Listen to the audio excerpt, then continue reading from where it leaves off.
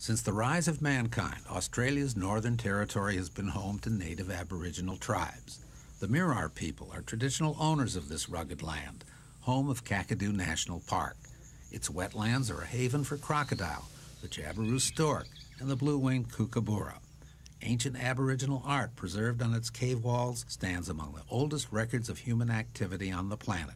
Despite its remoteness, a quarter million tourists visit Kakadu each year. To Yvonne Margarula, it is home. Like her father before her, Yvonne is the senior traditional owner of this land in Kakadu for the Mirrar people.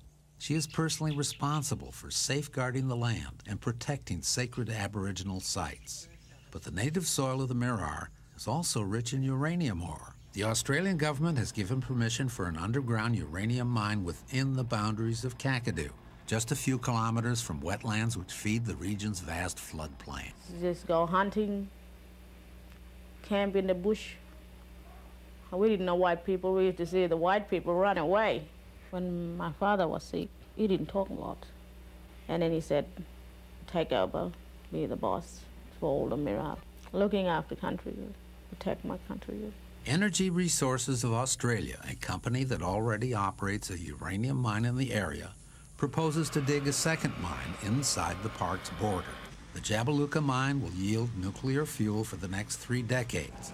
It will also generate 20 million tons of radioactive tailings, dust, and radon gas. Now, they're meant to be isolated from the wider environment, from intrusion from animals or from dispersal by wind or water for periods of up to 250,000 years. The mining proposal has united nuclear power activists, environmentalists, and Aboriginal owners like Margarula and another family member, Jacqui Katona. My mother was removed as a child under government policies in Australia from family, and as a result of the poor conditions that are experienced by my family, I've had a very strong motivation to work in the area of Aboriginal affairs. When it became clear that the fate of the Mirrar was tied to Jabiluka, the entire clan spoke with one voice.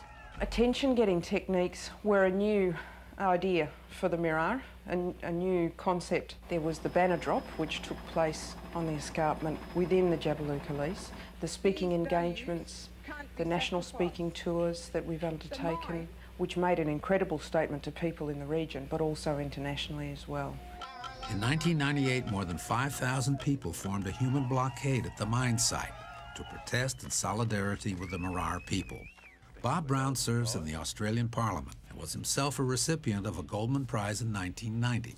Yvonne and Jacqui have struck a chord with the whole nation in an age where so many people are concerned about the future, about the sort of planet that we're giving to the next generations.